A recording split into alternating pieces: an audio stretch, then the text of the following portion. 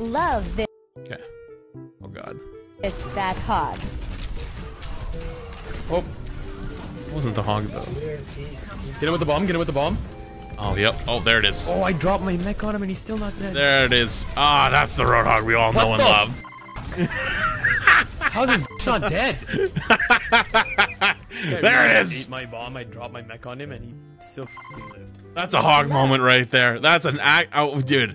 I'd love to see what the comments say on this one. They definitely flamed this guy. It was like, you dude, that's a skill issue. Well, people say he's not broken. Point blank bomb. I hate Roadhog.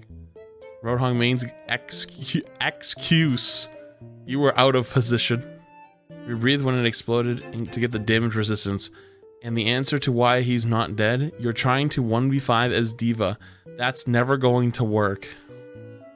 Aw, dude, I had to at least find one. We found it. Three things the Overwatch community can't accept. Part 5. Uh-oh. Number 3. Elo hell doesn't exist. You've just plateaued and need to get better. Sorry to tell you. Number 2. Overwatch 2 is at its most balanced state since the game came out. Number 1. You don't miss the old Overwatch. You miss the way how you felt about old Overwatch. Okay, I'll give you that last one. That last one's kind of based. Um, that one's kind of based. That's like when people say 2CP. I, unless you're talking about like old Overwatch, like you're talking like 2016 Overwatch, that might be a little different. Uh, but if you're talking like Overwatch 1 versus Overwatch 2, like people are like, oh, 2CP was better, 2 tanks is better, like that, that that's cope. That's cope. Uh, if you're talking like the old days, maybe I'll give you that one. Here's three useful Junker Queen techs you didn't know, and if this video helps you out, then help me out. Rampage rollouts. The Junker Queen's ultimate dash is straightforward. You can use it on sloped objects to cross very long distances and reach high grounds. Learn an effective rollout or two, and you can sneak out a free fight win as you fly into some squishy standing on a backline high ground. Rampage wall stall and wall slide. Junker Queen's ultimate is easy to travel too far with. But since it slides on walls, you can stall the ultimate for a short time to control how far you travel. The more That's good. directly you aim at the wall, the longer it will take you to slide off. So go more parallel for more distance, and more perpendicular for less distance. Using this, you can end your ultimates close to your targets, where you can quickly finish them off. Also, you can use this wall slide tech to sneak through doorways and around corners to catch enemies by surprise. Vertical dagger pull. Since Junker Queen's dagger pulls enemies towards her, she can use this to pull enemies for much longer and make them easy to kill by pulling them upward. So when you land the dagger, get as close above your target as possible to lift them surprisingly high for an easy kill. Here's three useful Junker Though, like when I say niche, I mean like the most niche thing I could you probably could have came up with. But hey, you know what? A lot of people probably don't know about those, so that's okay. It's kind of neat. Three clutch Ramattra tips every new Ramattra player needs to know. When playing versus Orisa, position yourself inside your shield so she can't spin you out. Instead of ulting while in Nemesis that form, true? cancel Nemesis form, then ult immediately after to regain your armor. When playing versus Sigma, when he ults you, you can stare up and block while in Nemesis form to take reduced damage. Those are actually really good Clutch tips. I, I didn't know about the Orisa one though. That's actually news to me. New Ramattra player. I guess that's a good point, everyone. I guess when this was released was probably a new Ramattra player. I feel like the fact that Overwatch 2 has already like completely fallen off the face of the earth is quite the accomplishment. How has it already fallen off the face of the earth? Hold on, I'm gonna open my Twitch. This is five o'clock in the afternoon on a Thursday. A lot of the biggest creators are not on at this point. Most of them gotten off. Seagull's not on. Uh, Jay's not on. Like mo- most of them aren't on right now. 37k isn't amazing. Um, but we're also towards the end of season two, and nothing's really happening right now. Super Super just gets on late, but this is this time of day. There's not really a whole lot kind of happening, and this like we're kind of in a little bit of a boring period. This is what happens in free to play games, is you have these like seasonal shifts, right? Where um, towards the beginning of the season, a bunch of new content, a bunch of hype, everywhere comes to play it. But most free to play players now just jump between games all the time. Like Apex just had a big update, right? What's Apex at? 84k. A- Apex just had a big update, so Apex is back up at the top. Apex was down here. Like we were over here at like the 55k, and Apex was down here at the 30k just two or three days ago. So big update comes out, everyone goes to play it. Fortnite does it, Apex does it, Valorant does it. We do it. Like it's just how the systems go. Um, of course, Overwatch is on a little bit of a slow period right now, but it hasn't died. Like Overwatch one numbers and where we are now is not even close. Like it's it just absolutely ridiculously wrong. But okay, let's hear the rest of the feel take. like the fact that Overwatch 2 has already like completely fallen off the face of the earth is quite the accomplishment. like that one week period where it was the beta and they were giving out people beta keys for watching streams and it had like a million viewers on Twitch or whatever and people are like, "Dude, Overwatch is back." And then it's just literally back into the exact same spot it was before. I mean, Well, it's it not. makes sense, right? Overwatch 2 was just a big balance patch. yeah. And that that's legit. That's Kinda. legit all it was. So, like, it got hyped for a week. And then, like, it's just the same people that still kept playing Overwatch 1. And they got that little balance patch. And now they can play Overwatch 2. I feel like the f- How long ago was this? This last year?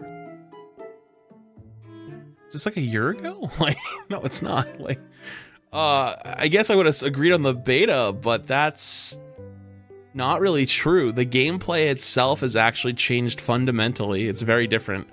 Um, the reason why it's marketed as Overwatch 2 as opposed to Overwatch updated um, is because the 2 is to do with the PvE when that when that releases. Um, they made a decision as a company, and it was the best decision that they made. And they realized, hey, our game is dying. This PvE stuff is taking way longer than we thought. And they turned the whole ship around and they brought it back and said, hey, like, we're sorry. We shouldn't have, we were trying to release these at the same times. Multiple complications happen. So we're decoupling them. Then there's PvE and PvP. So we got PvP early as a pre release early access. If you look up Overwatch 2, it is described as an early access game.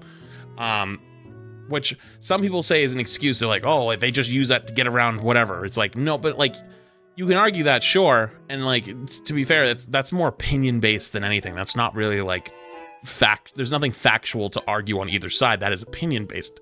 The part of Overwatch 2 is actually big is the PvE, and they couldn't release the PvP as Overwatch 1.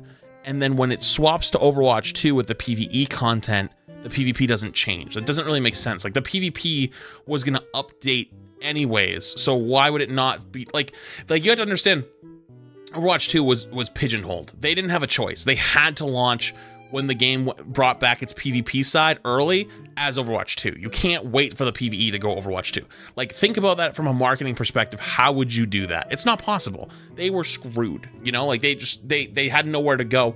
They made the best decision that they could make based off of previous decisions that old leadership and old people had made. Like Jeff, Jeff had launched and you know made his big thing at BlizzCon 2019, saying Overwatch 2 is coming out. It's going to be this big PVE like replayable game. You know, there were so many big promises that were made before that could no longer uh, like be all made at the same time. All the promises could be fulfi- fulfilled at once. They had to do it over time, and so yes, Overwatch 2 is not 300,000 viewers on Twitch every single day popping off, uh, destroying every other game on the market, but it is now a free to play game in the free to play system where most free to play players are going and jumping from whatever game is good to whatever game is good. Overwatch will never truly die again because of that system, but it will definitely have more per- periods of like kind of boredom where there's nothing's really happening, like we're in right now. Anyways, weird. I don't. These uh, the Overwatch is dead takes. I don't really. I don't really mess with them that much, um, unless like there's actually big things happening, and there isn't. So, ooh, this is my favorite series. Um. Oh. El Blanco. That's Spanish. Yeah. It's Day of the Dead. No, that's not Day of the Dead. Day of the Dead is Dia de los Muertos. El Blanco is Rolled, the white. rolled. This is Gun.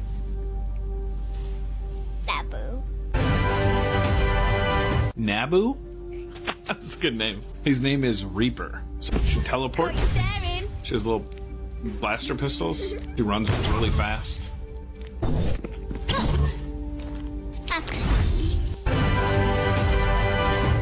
Nailed it. Nailed it. Her name is Tracer. What does she look like? What is what is her name? Like if, if she was your friend, what would you call her? You would just tell me her name. That's true. Kind of getting Want rolled. to name her? Hi, hi. So she flies and she has a rocket launcher. Mira. Next one. Jasmine. Good one. Jasmine. I can see it as Jasmine. You like that? I can see it. Those are always nice. In between the the terrible takes and the absolutely what is, what was that? Dude, that scared me. I know how to Okay. On a nerf hog. Oh boy. Okay, let's hear this. I know how to fix Roadhog without taking away the one shot. Alright, let's take a look at why the one shot is bad. The one shot is bad because it feels bad.